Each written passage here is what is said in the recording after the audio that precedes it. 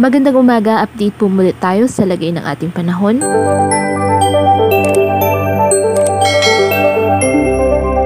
Napanatili pa rin ng bagyong bising na may international name na Surigay ang kanyang lakas habang patuloy na kumikilos sa may Philippine Sea. Dahil sa pag-akyat ng bagyong bising, inaasahang unti-unti nang mababawasan ang epekto nito sa Bicol Region at sa posibleng mas mararamdaman na ang mga pag-uulan at pagbugso ng hangin sa silangang mga bahagi ng Northern Central Luzon hanggang bukas o biyernes. Huling namataan ng sensyo ng bagyo sa layong 395 kilometers, silangan po ng Tugigaraw City, Cagayan. Taglay pa rin po nito ang lakas ng hangin na umabot po sa 175 kilometers per hour at pagbugsong 215 kilometers per hour.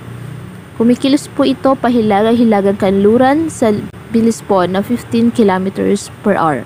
Hindi man po maglandfall ang sensyo ng bagyo, ang rain bands ng bagyo at Churito ay patuloy na nakakapekto sa malaking bahagi ng Luzon.